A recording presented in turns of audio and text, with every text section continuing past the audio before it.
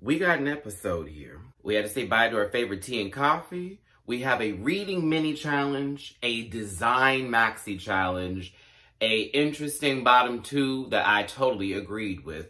And child, hmm, it was a solid episode. Solid. Solid as a cue my theme music.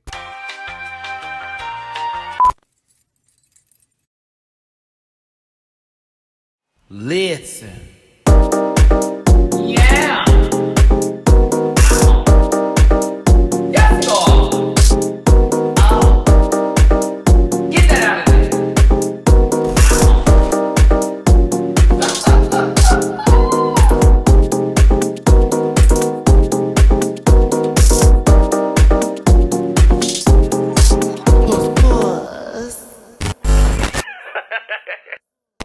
Hey everybody, it's your boy Matty Rants. Thank you so much for tuning into the channel. Do me a favor and hit that like button, share, and subscribe to the channel. Become a part of my Rant Pack family.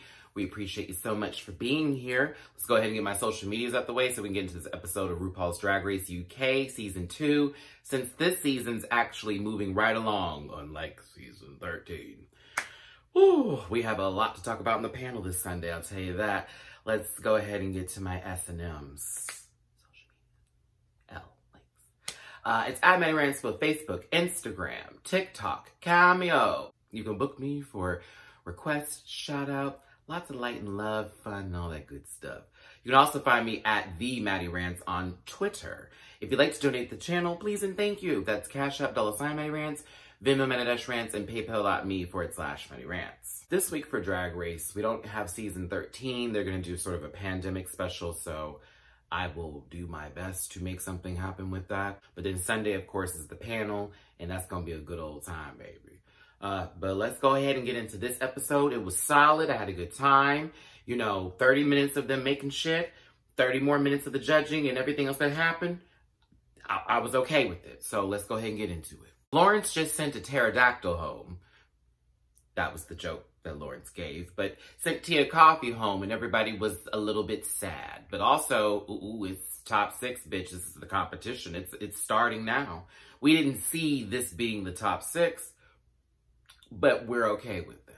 Shade is in abundance here in the UK, and the queens are very much throwing little jabs here and there. Shout out to A'Whora and Tayce. You kind of ran this episode a little bit for me as far as commentary, questions being asked in the workroom, etc., etc. A'Whora, you started off with, well, who do you think is going home next? I'd say Sister Sister. I mean, tiger print on the runway. Predictable. She didn't use those words exactly, but yes, she did. Sister, instead of going to A'Whora and doing a back and forth because she knew she couldn't because mama doesn't have no badge, decides to come to Ellie Diamond and say, I think it's going to be you. Lauren says, I think it's going to be both of you. Ellie can't believe her name is being thrown out there, but child, you haven't won shit. So it's like, what are you doing? This is top six. You need a badge at this point in time right now. And that's how they're rating this. We have wins in the US, nah, babe. Are your shoulders heavy in the UK? Either way, everyone gives their sort of opinions on this. Half of them do at least cue a bunch of this nonsense, the music, wah, all that kind of good stuff. Bam, we're in the episode, right? Shade still continues to the next day. A'Whora and sister are not gonna let up on each other. It's straight up like watching a blow-up doll versus Mandark. It is very that. But let me tell y'all something, how they set up Sister Sister this episode. She said they're sleeping on her and they're gonna have to wake up and I am competition and they need to get ready for me. I'm still in this baby. Girl, it's like they they they just set you up. it was like we're going to create an arc for Sister Sister to win. This at nope. They don't understand what I'm packing. A one-way ticket home. They're still sleeping on me, but I'm going to wake them up so they can see me go home. Lawrence Cheney, Mrs. Veronica Green, which nobody says at anything at all to. Not a, not a soul. Like, no, we don't. I'm like, at this point, top six, I ain't missing nobody. Y'all hoes need to go home so I can win this competition. Take my show. I wasn't gonna say money. This ain't, this ain't that drag race. Take my show to Hollywood and call it a day. And don't forget, A'Whora is gonna use the same joke throughout the entire episode to Sister Sister. Whose runway look are you gonna steal today? The entire episode, A'Whora. The entire episode. RuPaul pops up on the good old screen giving her 10 seconds of this is what I have to say to then walk into the workroom to actually tell them what she really has to say. RuPaul then introduces the mini reading challenge. The queens must give each other a little shade, a little jab, a little stab, if you will, through humor and comedy and light jokes or heavy ones. RuPaul says this is the first time that these queens are going to be doing this in 3D. Not that we get to see it in 3D, but they're wearing 3D glasses and possibly need to go to the eye doctor after this to check on their vision. Sister Sister wins the mini reading challenge. Y'all are like, Matty's gonna be a hater on this baby. Listen, not too much longer. I got only one episode left. And I don't hate her. I just, there's something that doesn't sit with me with her. And that's just that. However, I don't agree with her winning this reading challenge. I thought Bimini had the funnier reads. I'll go through some of them with you. The sister sister I didn't understand that. I really didn't think nothing she said was funny. Uh, Bimini heard they were giving out chips, so she was asking for some vegan dip. Uh, there was a fat joke she threw in there on somebody, and then Tayce throw her in there. Okay. I, am I'm, I'm sure some of y'all found that funny. I was I was like, okay, what, what what's happening here? Ellie said Lawrence looked like Lady Bunny without a personality, which Lawrence has a lot of personality, so I was confused by that statement. And then Bimini with this chair dancing skills, she hopes the next one she'll be on is going to be electric one. Lawrence Cheney, Ellie, you're so stupid. You studied for your COVID test. Boo. A'Whora has no soul. I was like, this is Lawrence? What's happening here? Like, okay, come on now, you guys. Tayce, you, Tayce calling Ellie Diamond Ellie Zirconia was actually, I found that to be a, a, a, a hoot. I found that funny. However, for Ellie not to know what a zirconia is, I know 21, but um, I know little 14 year olds walking around school right now with some zirconias in their ear thinking that their mom and daddy bought them a diamond and they feeling real special knowing that that sucker right here clouds up a bit. oh, and she said that uh, Lawrence was well-rounded, so another big girl joke, and the fact that uh, there's a reason for us to stay out of Glasgow. I was like, all right, this is not going well. this is okay. I, I'm giggling, but I'm not like Baha'i, right? And then let's not forget A'Whora here, who we we had to know this, y'all. First of all, another double runway joke, this time in front of RuPaul, so that way RuPaul knows, hey, I know what's going on. Cool, right? But then she decides to spill beans or lie about it or whatever they want to lie about. Because Tayce is like, that's not true. But I'm like, girl, is it? Because, I mean, it's, it's, it's often. It's, it's often. It's often, sis. Mama said that Tayce was laying down with her tongue out while she sat down on that face and rotated, bitch, okay? I, I add a little extra to it, but yeah, eating eating some good groceries, I guess. Uh, that was for shock and awe. That's all I'm going to call it. That was nothing. That, that wasn't funny. That was just for shock. Like, what?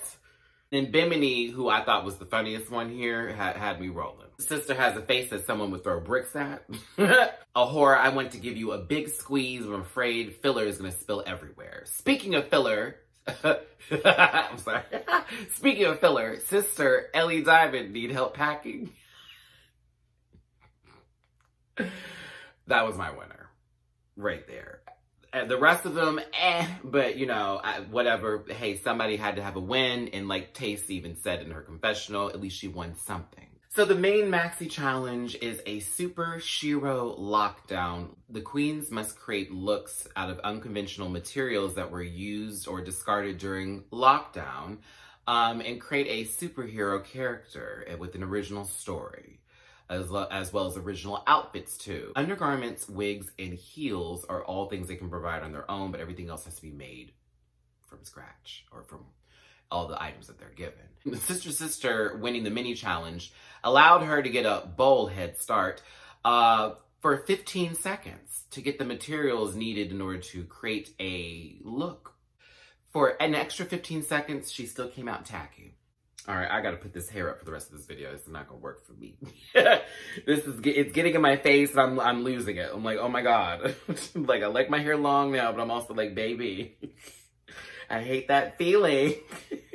you be just talking, all of a sudden, you just feel hair just, just all up in your face. All right. Puff up. Let's go through the workroom now. RuPaul came in with somebody. A couple of conversations happened here and there. I'm just going to break it down because honestly, that was a very long sequence of just, what are you doing? How are you doing? What are you doing? Sister Sister with that 15 second head start pretty much takes most of the fabric material, including certain uh, items like pillows and this and the other that could have been helpful or useful. There was a funny moment, an actual funny moment from A'Whora this episode, where she decides to go on her best spy uh, routine here. We got a music and all that kind of good stuff. Her shifting around, looking to see what Sister Sister got from that first 15 seconds. Oh, did she take all the rhinestones? A man dark, ha ha ha, walks up, finding A'Whora in her shit, and asks, what you snaking around for? Oh, it's just me, the Cobra.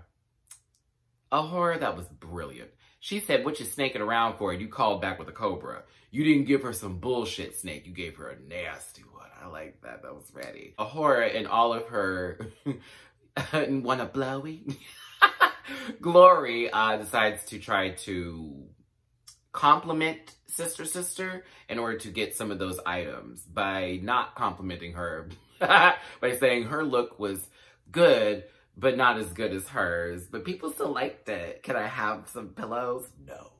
And Sister Sister was happy to know that people needed her items and that she wasn't going to give them to them.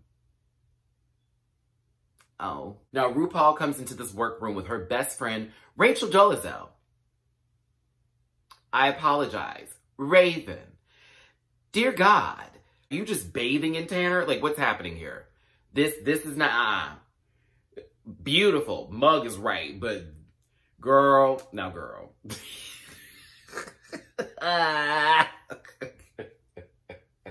Sis. But Raven comes in with RuPaul and they were giving makeup tips and asking questions. And Raven was getting an idea of what she'll be saying for a fashion photo review in a year. Some people got really good advice. Uh, others were just asked quick questions here. Things were said this back and forth. I'm not, okay, what's up?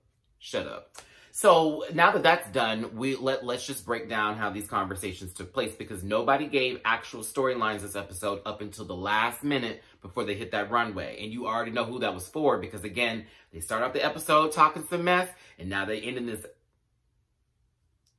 Ooh, I love Drag Race, but when y'all be on that storyline T, I'm like, okay, girl, she's either going to be in the top or the bottom because you put too much time with her this week. So let's go. Like, they're not going to make her safe. And we had a whole 10 minute, five minute storyline of this is why I'm sad today. Like, they always do that. Like, they need to make sure they're in somewhere near the bottom or somewhere near the top when this happens. Never safe. And when they do make them safe, I'm always like, okay, why did we need to have all that? Like, is this because next week they're going home?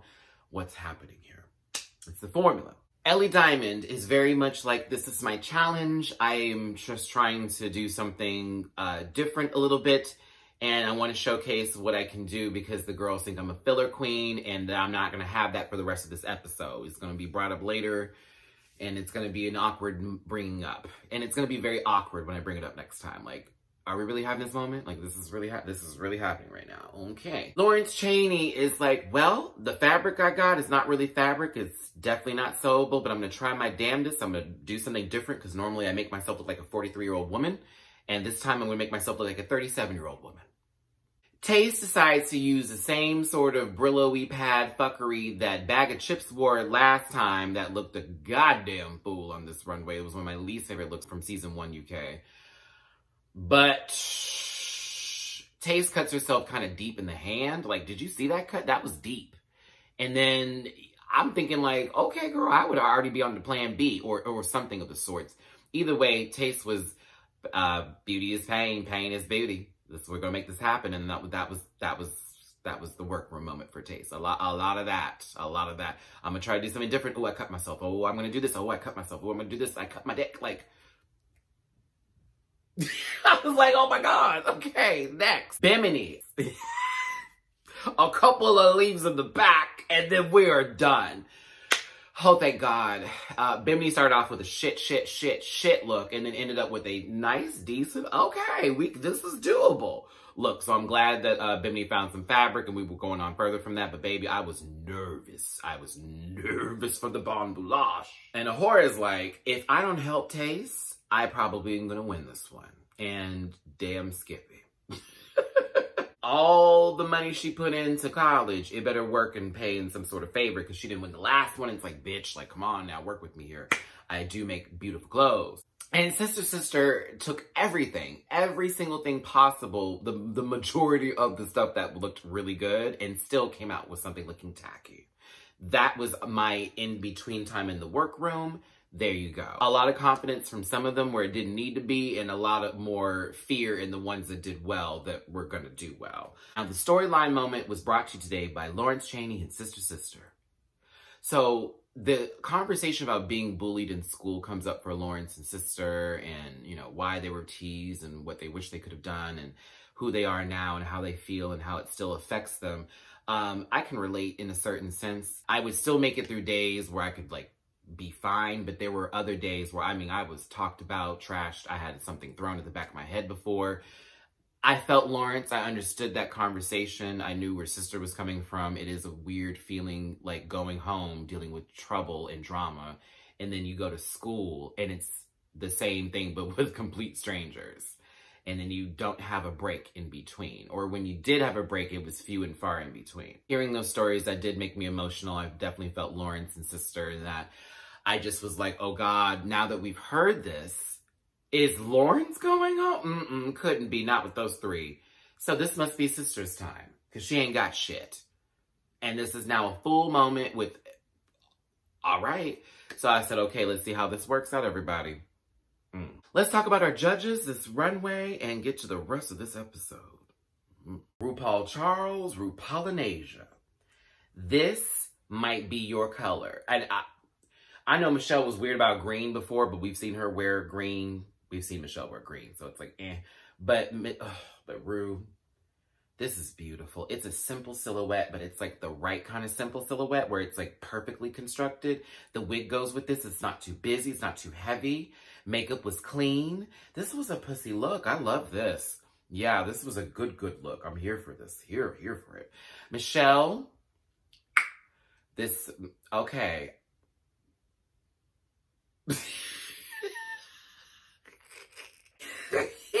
this isn't bad. I'm just saying, Michelle, all you missing are some door knocker earrings, girl. They'd have been on.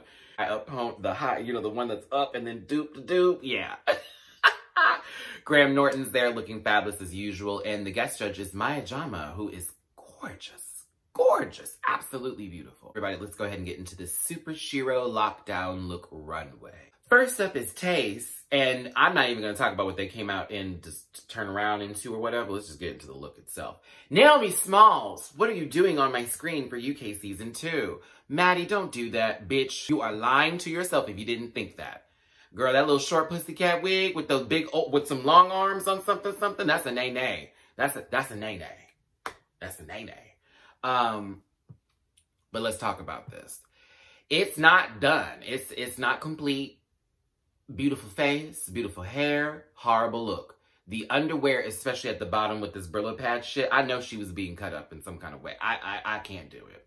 So I was disappointed in this. However, if I were to do something different with this look to make it my own sort of aesthetic or thing, keep the short wig, keep the makeup.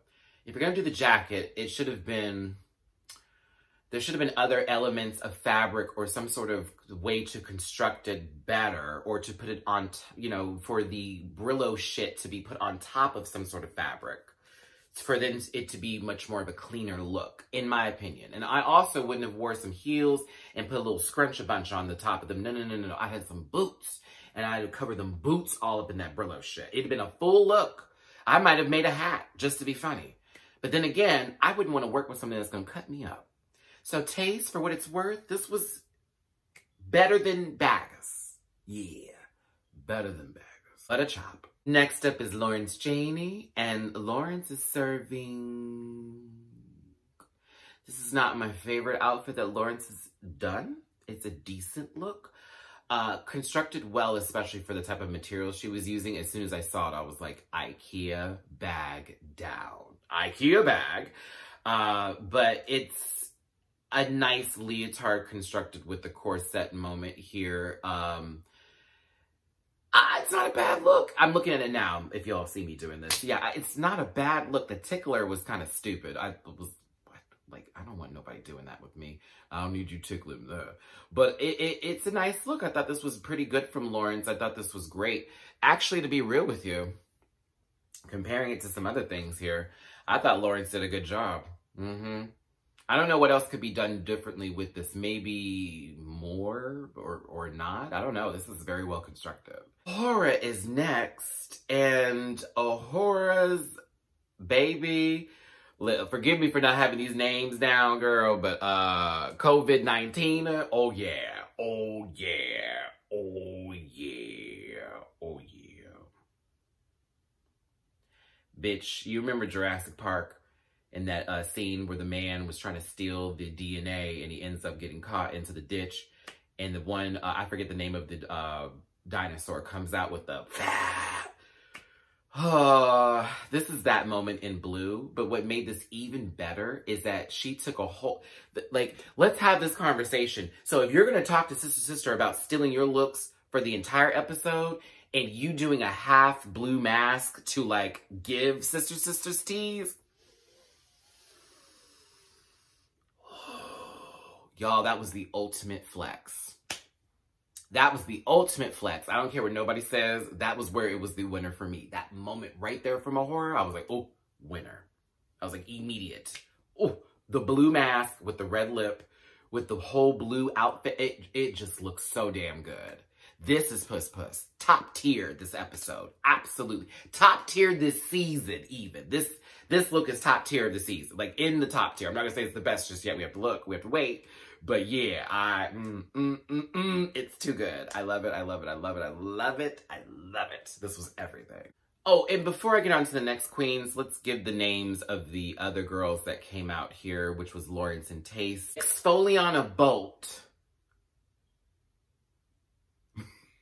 Girl, they're gonna be, you will murder somebody exfoliate what? With those girl? Did you see what happened to your hand? And lawrence wasn't as special to me. I thought there should have been like a different name with this but lawrence did lawrence of chania. Up next is bimini bon boulash giving us dr isabella blows a lot Okay, okay. This was a much better look than what we saw in the workroom that was being worked on the first time. Thank you, God. Thank you, God. Oh, Bimini, I'm so happy that you changed that up. This, while I don't get too much superhero from this, but this gives me fashion. This Vivienne Westwood moment is quite, this is stellar. I don't think the red was necessary on top of the outfit, but I also realize that it gives sort of, sort of, it gives like dimension to it. It's, yeah, it gives a lot of dimension to it, especially with the red on top versus just being this black dress and it's like, ooh, okay, we're done. No, it's like, it adds a little something to it. The plungers in the back for the booty I thought were hilarious. Um, but to me, I thought that Bimini looked good. I didn't, I wasn't mad at, no, I, I was a little bit like, really, Michelle? I was, I was happy with the hair. I, honestly, I thought this could have been a horrible look, and I thought that Bimini pulled this out of her and pulled this out of her blowy, you know, and pulled this pulled this out of her ass. I thought this was really good. Good job, Bimini. I like this look. This could have been so much worse, so I'm very happy. Ellie Diamond as exuberant Ellie. Ooh, I got a sweet tooth for this look. Okay, Ellie. Now, I low-key, high-key, all keys thought you were about to come out in chaps and I was ready to read and be like, girl, the same thing we've been seeing before, but this is fucking cute. This is adorbs. This is adorable. Adorable.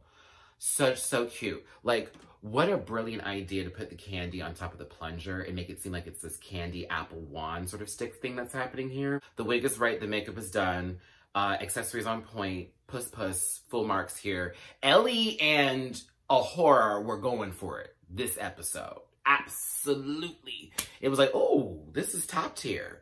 I'm here for this. Last, and certainly not least, is Miss Sister Sister. I like the PJs. Mm-hmm. I did. I was here for the PJs. Sister Sister came out as the Garden of Shedon. I wish this was a better look. I really do. Um, chin up, it's everything. Makeup, hair, right. Everything else, a chop. A, a, a, a boo chop. Boo. Boo, Wendy Testaburger, boo. Sister, this was a whole lot of extra that didn't need to be. And it seemed costumey to the point of it not being, like, beautiful. Like, it, it really did seem like you just threw everything out there. Why were you carrying this gigantic fucking pillow? It's supposed to be a flower. I'm representing the garden. Okay, cool. But this, that just seemed heavy and a lot. And you've already done the same silhouette before with this long leg and this short, um, you know, one long sleeve in the leg and then the other one is like just a little cut off here. I've already seen all that. That, this didn't look any better either. I know. No, no, no. Mm-mm. Mm-mm. Mm-mm. No. Judging takes place. No queens are asked to be safe as this is down to the six. So it's like, okay, let's talk about all of this. It's clear that Tayce and Sister Sister are in the bottom. Tayce for not doing enough and it just being this bare concept outfit where it was like, okay, this is just Brillo pads. Where Sister Sister got the feedback of, girl, this is a lot. This is all, uh, uh, it's way too much. You're fun. We like you, but mm-mm, mm-mm. A'Whora gets top marks. Uh, so does Ellie Diamond. We see how this is going to go. Lawrence, they kind of gave a little bit too. I don't think Lawrence deserved as much as Lawrence was getting, but you know, it is maybe for TV purposes of them trying to give some sort of like, be scared for Lawrence. Also, Bimini was given half remarks too. Oh, we love that you changed this up a little bit, but you could have fixed this, you could have fixed this, you could have fixed that. But this is great, but you could have fixed those things. So in this case, Lawrence and Bimini are safe. A'Whora wins the challenge. Girl, it, now it could have been Ellie or A'Whora, but I really did want A'Whora to win because when she did a little pop pop with them shoulders, bitch, it was a wrap for me. Uh, I thought Ellie was beautiful too, but something about A'Whora's look with the concept alone, it was just puss. It was so good. Um, Untucked wasn't really anything, to be real with you, more so Tayce being, Tayce accepting her fate, um, sister feeling like, I look gorgeous, I can't believe they don't get this. And then Ellie Diamond trying to figure out, well, after today's critiques, do you girls still think that I'm just filler and I'm just safe? Like, literally, I know you said it, I know you said it, I know you said it. I don't think you said it, but I know you said it. This reminds me of the moment when Ellie Diamond was trying to narrate RuPaul to have a saying for her because Lawrence was getting all of this attention. I got to tell you this, Ellie. Shut up. you're doing, you're, you do well. You do very good. Let's be clear though, you have come down in the majority of your runways and chaps. Let's be very clear. Your makeup is stunning. Your wigs are always right. But I'm going to tell you this now. the, all that in the background, uh, mm, they were nice to you. They were very nice. They were very nice. Other girls would have ate you up for that. Like, really still saying I'm filler queen? Girl, if we're talking about the last couple episodes, yes. Safe, safe, safe, safe, safe, safe, safe. Let's talk about it. Not one badge, bitch. Safe. Filler. That's why we said it. What, what's up? What you gonna do? Zirconia? What you gonna do? Like, honestly, I like Ellie, but it was Ah, I'm like, girl, what, what, what, what you mean? Yes, bitch, you haven't won nothing. You ancestor, they're gonna call you a filler queen. Like, absolutely. Regardless of that, I still think Ellie did a great job this episode, even though A'Whora did win. Tayce and Sister Sister in the bottom, and they must lip sync. Oh, I wonder who is going to win. The song is Don't Be Hard on Yourself by Jess Glynne. I actually like this song a lot. This is the part where I start talking about the lip sync itself. And this person did this, and this person was doing this, and this person was Tayce won. All right? Y'all can do this candy one and Symone one bullshit somewhere. Uh, nope, I don't need it. Tayce won. Period. End of discussion. That's what just happened. With this outfit falling off and all this kind of mess here, sent her home. Sent that lady home, baby. Sent her home. Don't, you can, nope. On someone else's comment section, not this won. Tayce one, period. End of discussion. Wore her out. sister was just dancing like she was in club, and that's cool. And I'm always here for people in the club dancing. But mama had to look down to walk everywhere. It was, okay, this left, right. All right, we're back in the front again. Tayce over there moving and grooving and doing what she needed to do. I was like, all right, you better be doing these bird movements. Tayce was doing a lot of this. I was like, where is she flying to? But yeah, Tayce won. There was this part where Tayce did it. I'm not going to call it a dip. That's not a death drop. It's not shablam. Mama slid to the ground. Like, did y'all see that? It was like this weird slide. It, I was so confused. I was like, wait. she was like, yeah. It was pretty how she slid into it though, because it was again like right with how the position needed to be, all that kind of good stuff. But I still found that to be a Google because I was like, what about that was a dip, girl? She low key fell in installments. She low key gave like a slight, whoops, I slipped on a banana peel, but I want to go down real sexy. Like it was very that. And so Tayce wins, sister, sister, sashay, away. Five queens remain in the competition. We have Ellie Diamond, we have Tayce, Bimini Bon Boulash, Lawrence Chaney, and A'Whora. Ooh, girl, we are almost to the finale of Drag Race UK Season 2. Tell me what you think of this week's elimination. Tell me what you think of this week's runway. Who were your tops? Who were your bottoms? What'd you think of the lip sync? What'd you think of this episode in general? And how are you doing? Okay? Thanks again for tuning in, everybody. It's your boy, Matty Rants.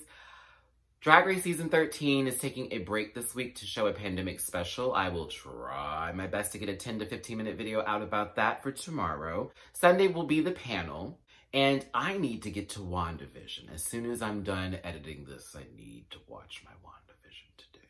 Yes, absolutely. All right, thanks again for tuning in. Hugs and kisses, my best love and wishes to you. It's your boy, Matty Rants. I will talk to y'all later this week or it's weekend. All right, bye everybody.